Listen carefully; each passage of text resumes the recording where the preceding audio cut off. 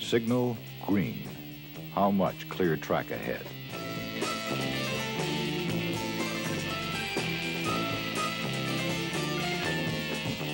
It's a whole new railroad these days.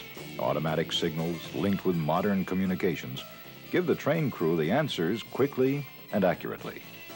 Safety devices are a thing of the present. Electronic detectors inspect passing cars and sound off if they find trouble. Centralized traffic control and computers keep operations up to date, up to the minute. Yes, the railroads are changing. And these changes are making the rail industry even more valuable since better and safer service benefits everyone.